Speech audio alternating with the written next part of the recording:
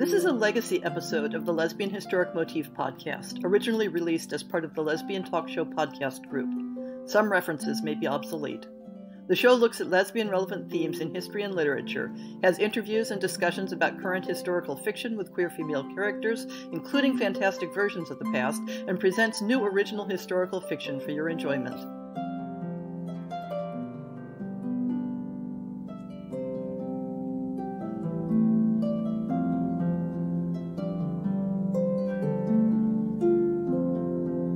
Month, the Lesbian Historic Motif podcast is delighted to be talking with Lise MacTague.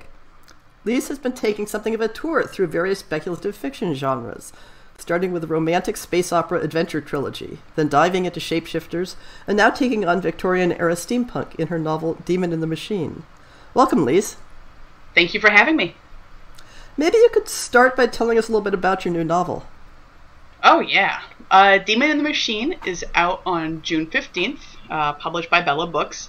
And it is, as you said, it's a Victorian era steampunk, but it has some uh, paranormal thrown in for good measure, and there is also a mystery to be solved. Ah.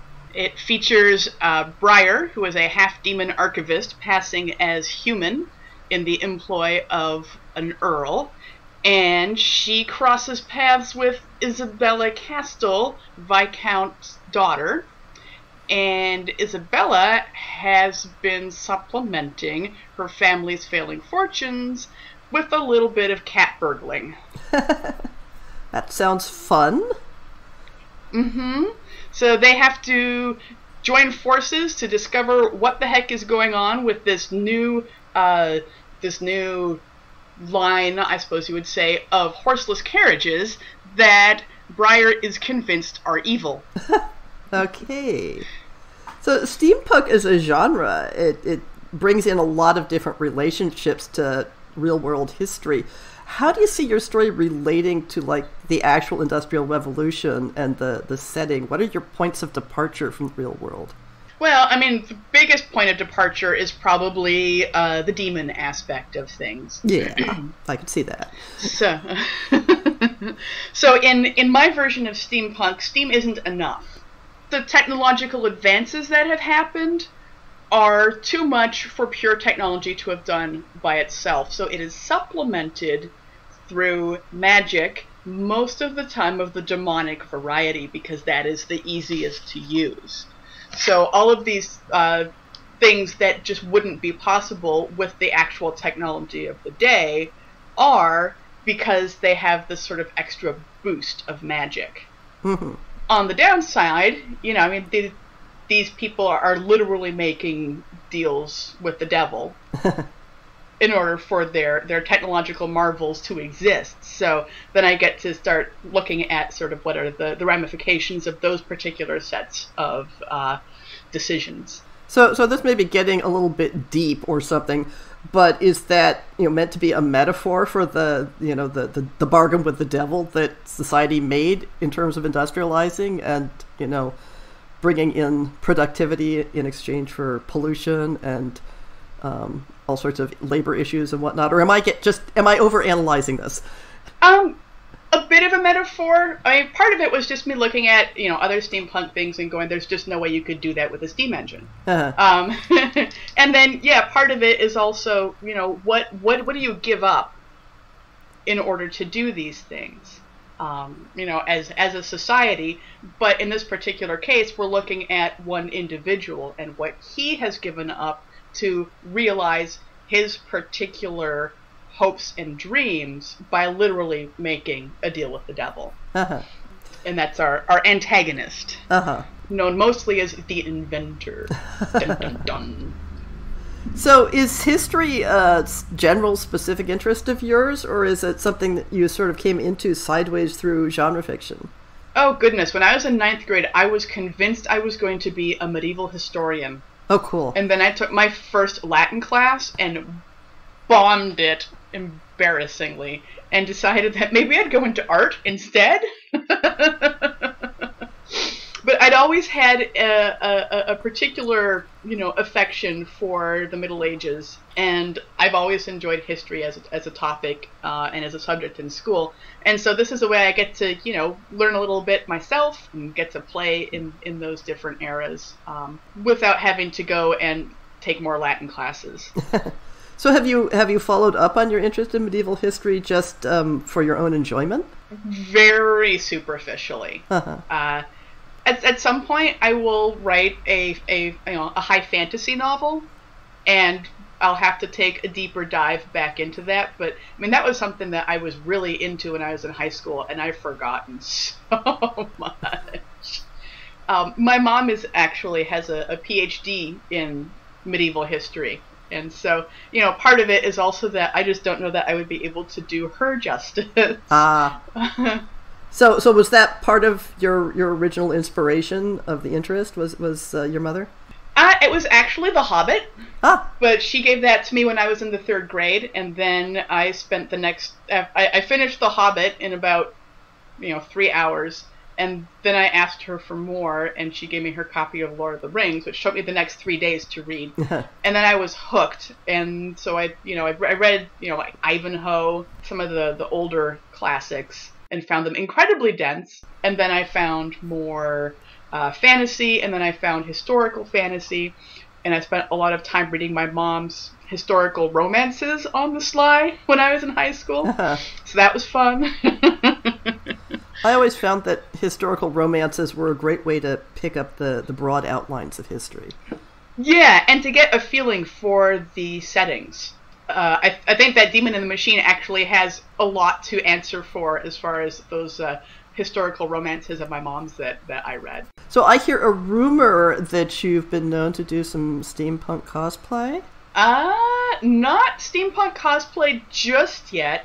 I've done some.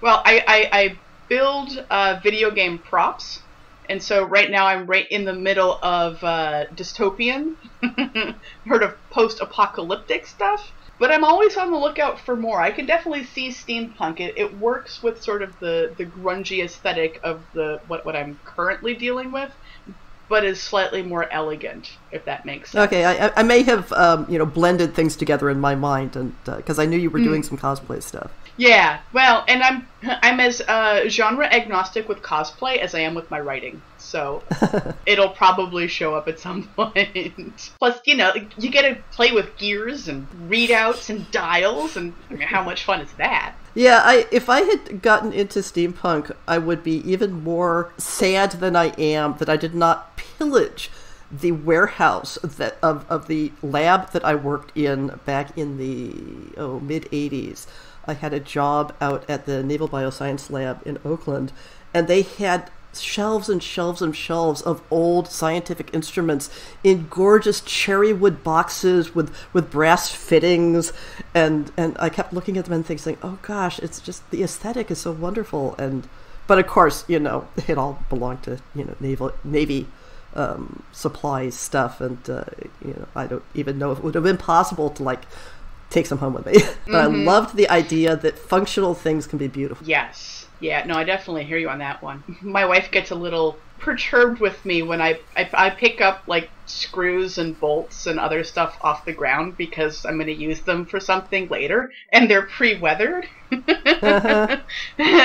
and so she gives me some side eye when I like bend down and pick up a random bolt and then but you know, I can tell her that she she can't talk because she's the one who likes to cruise the um the the, the curbs at uh, move out time for the local college to see if there's any furniture we can snag. So, you know, my my junk collecting is of a much smaller variety than hers. Is all I have to say in my defense. uh-huh. So, do you have any particular influences in steampunk? Any authors or works that that really inspired you to give the genre a try?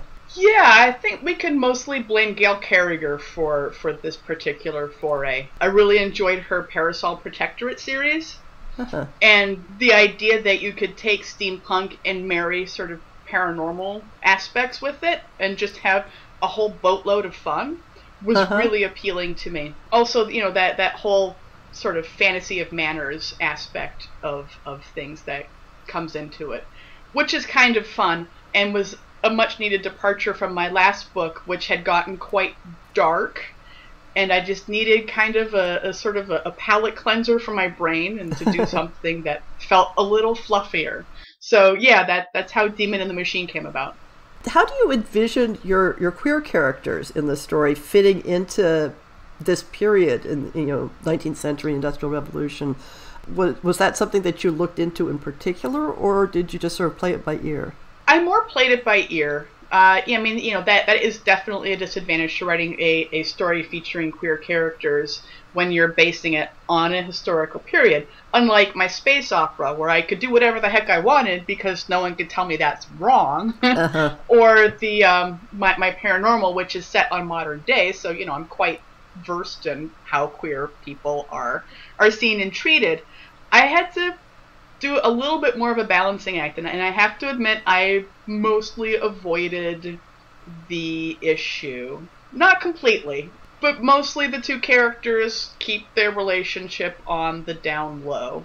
It's not something that they advertise, though Isabella does admit to having had previous dalliances with other women. Uh-huh. Um, but those are not something that, that she ever ever advertised. And Briar does have a run-in with Isabella's mother, where her her mother basically says, "Don't do anything that will affect Isabella's marriage potential.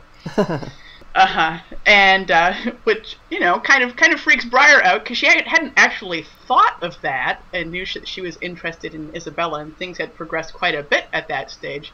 But you know, Isabella was a character is a character who has no particular interest in marriage. Uh-huh. Um, you know, she's she's in the midst of, of, of her first season and it's mostly so that she can case the build you know the, the houses and the, the jewels of of other people in high society not because she is out there looking for a husband are there any other um, aspects to how you develop the story or uh, background research or anything you'd like to talk about i did spend a fair amount of time looking into uh, the history of demons and how they're dealt with in in mythology mostly because I wanted to create sort of hier- hierarchies of hell, but not use the the terms that everybody's heard over and over again. Uh-huh. Uh, so I, I, spent a lot of time doing that. I spent a lot of time researching the history of uh, steam powered vehicles uh-huh. for my horseless carriage.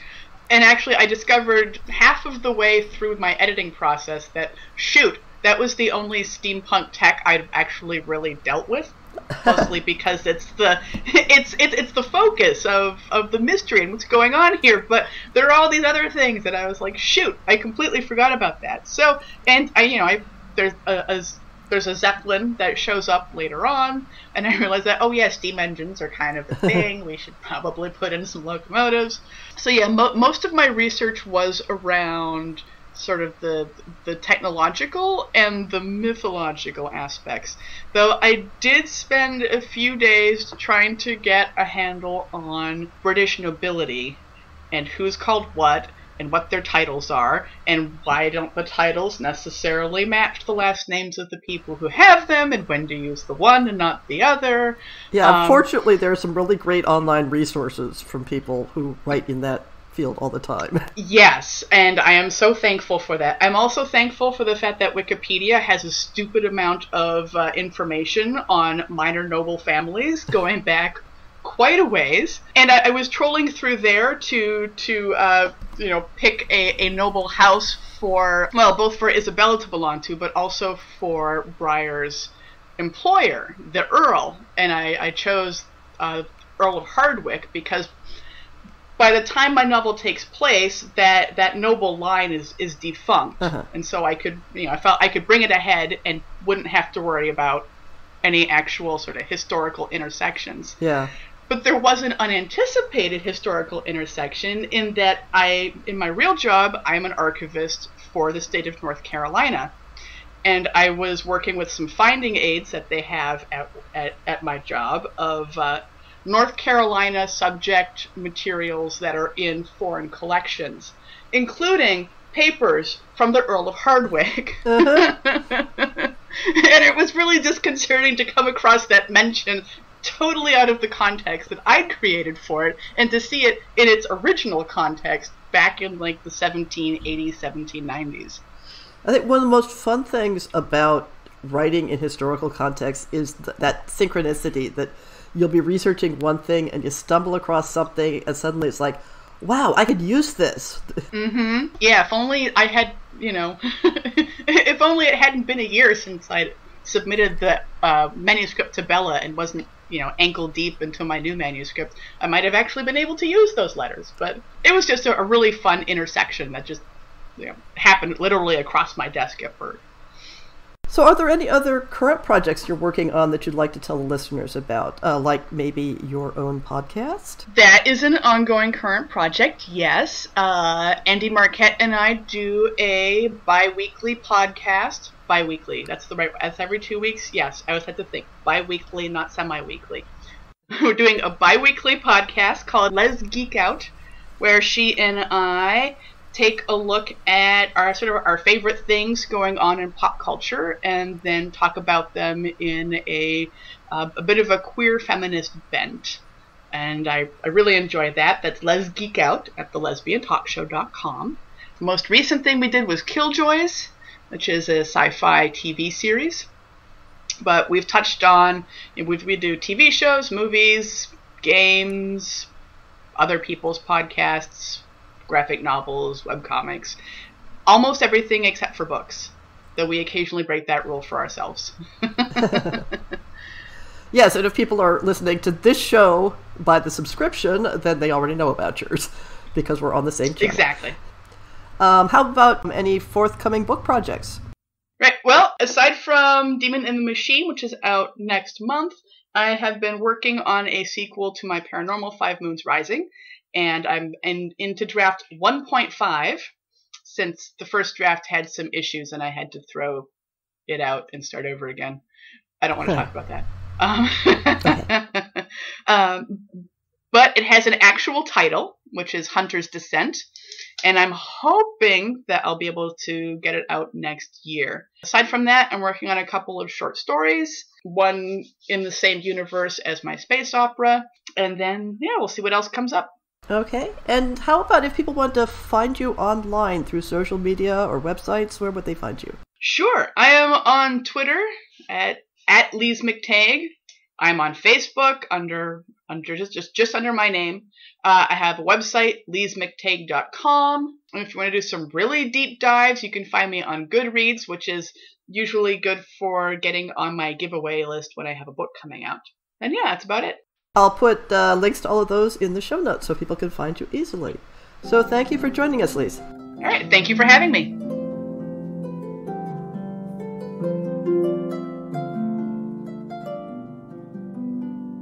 I hope you've enjoyed this episode of the Lesbian Historic Motif podcast. See the show notes for links to people and topics. Most shows will have a transcript linked as well. If you have a book announcement, a topic suggestion, or might like to appear on the show, please drop me an email. If you enjoyed this podcast, please rate it and subscribe on your favorite podcast app, and consider supporting our Patreon.